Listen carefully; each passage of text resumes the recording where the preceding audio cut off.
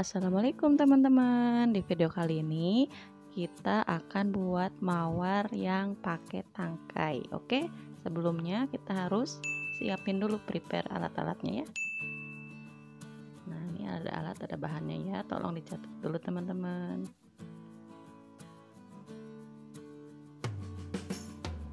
Nah ini kawatnya. Pertama-tama aku iniin dulu tekukin dulu biar apa nanti pada saat pemasangan klaynya itu enggak nusuk. Oke kayak gini. Nah ini ada yang udah keringnya nih ya. Oke ntar aku ulang. Nah pertama-tama udah ini kita siapin dulu bahannya. Lalu kita bulat-bulatin terus uh, langsung aja ya kawat masukin gini.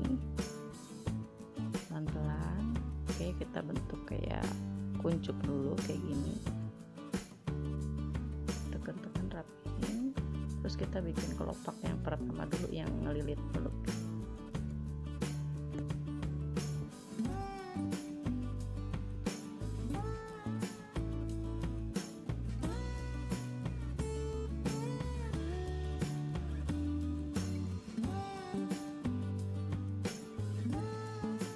Nah yang ini kan masih basah. Nah yang ini udah kering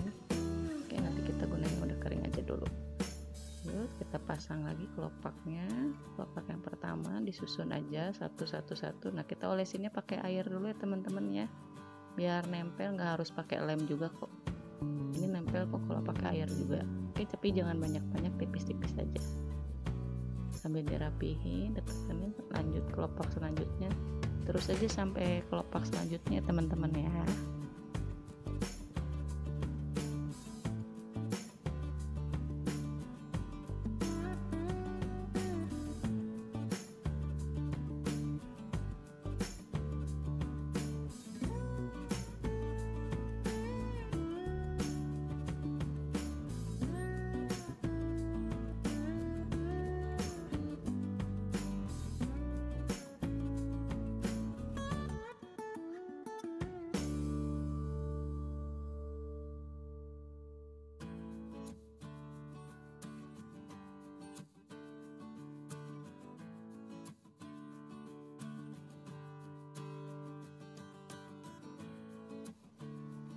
Oke, lanjut terus untuk kelopaknya. Jadi teman-teman eh, makin ke sini si bentuk kelopaknya itu makin besar ukurannya teman-teman ya. Nah, jadi kalau teman-teman mau bunganya mekar banget, makin ke bawah ke bawah makin besar juga sih. Cuman ada tips sama saran nih buat teman-teman. Kalau mau bikin bunganya yang mekar, jadi pada saat dia udah medium nih, kita stop dulu nunggu dia kering. Baru kita lanjut lagi, bikin kelopak lagi dan bisa sampai mekarnya maksimal. Oke teman-teman, lanjut terus. Kita bikin kelopaknya. Kita tipisin dulu, oke. Tempelin lagi.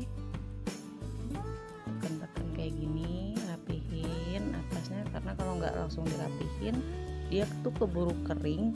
Dan kalau udah kering itu dia tuh susah jadi kayak retak gitu. Apa sih? Udah udah nggak halus lagi gitu. Oke lanjut terus. Nah aku nih pakai alat apa ya sum, sumpit ya sumpit yang dari Korea gitu.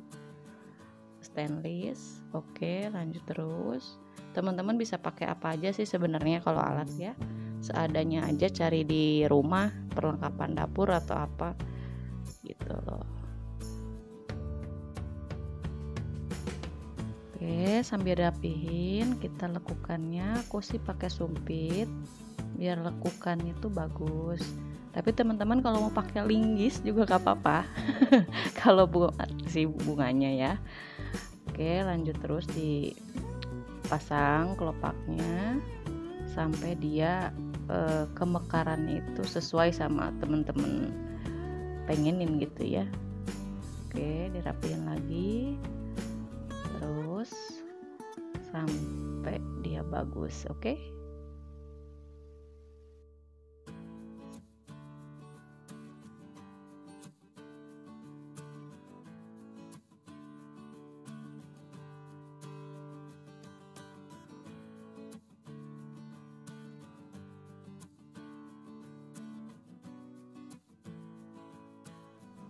kita rapi-rapiin lagi biar ini rongganya nggak terlalu uh, nempel ya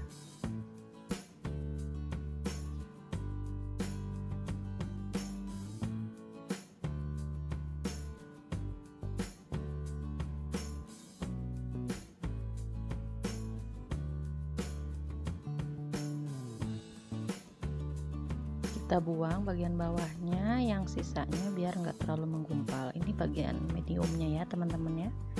Nah ini udah aku tambahin lagi tadi jadi bentuknya maksimal ya teman-teman ya. Ini masih basah jadi kita keringkan dulu.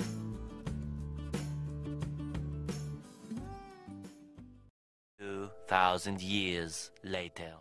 Oke ini udah kering teman-teman setelah kering berabad-abad lamanya oke kita lanjut pembentukan kelopak yang hijau di bawah e, kelopak bunganya ya teman-teman ya. Jadi kita langsung aja ya. Ini ada cetakan daun. Nah kita bikin dulu kayak gininya oke. Nanti kita lanjut ke daunnya ya teman-teman ya. Kita pipihkan dulu tapi jangan terlalu tipis ingat karena semakin tipis resiko patahnya tuh tinggi banget. Oke kita rapihin. Terus kita gunting dulu biar ada efek apa ya namanya tuh kayak teman-teman pernah lihat mawar yang originalnya gak sih? Suka ada kayak gituannya kan ya? Oke kita lem apa bukan lem sih kita ininya pakai perekatnya air aja itu udah cukup nempel kok teman-teman ya.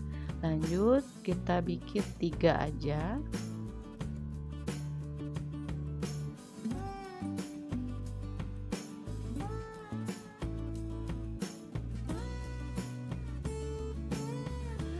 Nah, ini udah kepasang semua, tinggal dirapi-rapiin aja, diteken-teken pakai sumpit ya.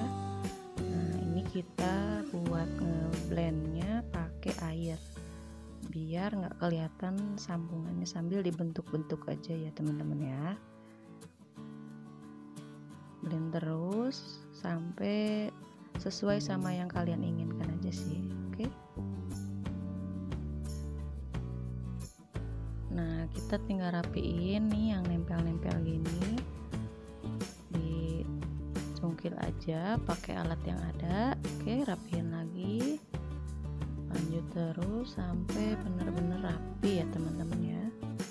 Oke pelan-pelan ini harus hati-hati banget oke. Kita simpan dulu nunggu dia kering. Lanjut kita bikin daunnya teman-teman ya. Jadi aku mau pakai sistem cetakan oke.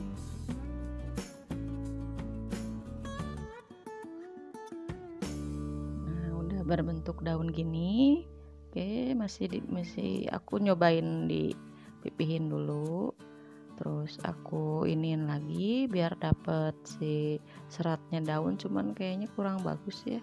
Jadi ntar aku ini manual aja ya. Kita rapiin. Ini aku pakai alat apa yang biasa motong kentang gitu teman-teman pasti punya lah kayak gitu nah kita rapihin ngebentuk serat-seratnya oke kita kasih kawat tipis kita tinggal tekuk-tekuk aja. Nah ini masih basah ya teman-teman ya. Jadi kita harus tunggu dia garing dulu baru kita lakukan pemasangannya. Nah ini aku udah siapin yang udah keringnya oke? Okay? nah ini masih basah. Kita sambil nunggu uh, bagian kelopak yang hijaunya tadi kering. Jadi ini tadi tuh belum kering. Jadi aku gradasi dulu warna si kelopak mawarnya ini biar kelihatannya tuh bagus. Aku di sini pakai make up yang nggak kepake. Kebetulan ini pakai blush on ya teman-teman. Kalau teman-teman mau nge apa gradasi pakai uh, pewarna lain ya silahkan aja. Cuman aku saranin cari warna yang benar-benar lembut banget ya. Ini nggak terlalu apa nggak harus tebal tipis-tipis aja. Biar uh, dilihatnya itu bagus gitu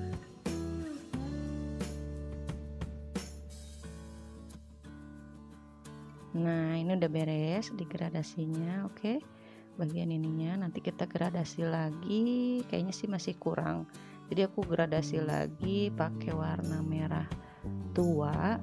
Aku pakai akrilik ini di blend. Pakai yang warna apa ya hijau kalau nggak salah ini. Jadi biar uh, looking di looknya tuh bagus gitu. Nah ini udah beres ya teman-teman oke tinggal kita pemasangan daun. Nah daunnya ini aku lem dulu kasih lem putih terus baru aku balutin pakai apa uh, floral tipnya itu biar dia satu daun ke daun satunya itu enggak apa namanya uh, berubah-berubah biar diem aja intinya gitu ya. Nah oke okay, kita rapi-rapiin biar dia ini. Nah kita lanjut ke batangnya.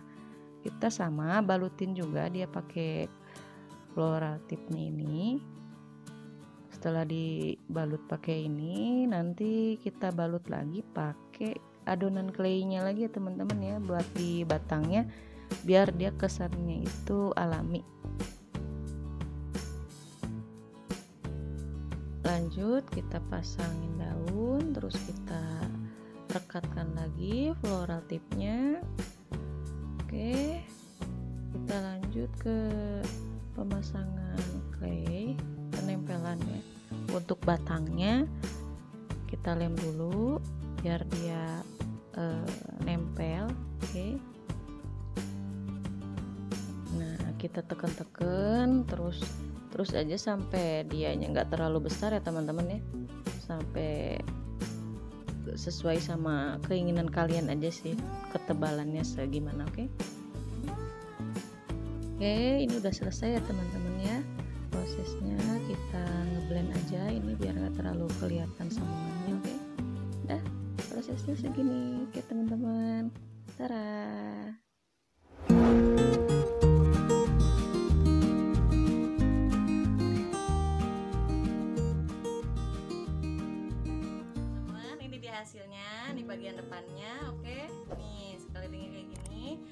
teman-teman yang udah nonton. Jangan lupa nantiin video kita selanjutnya oke?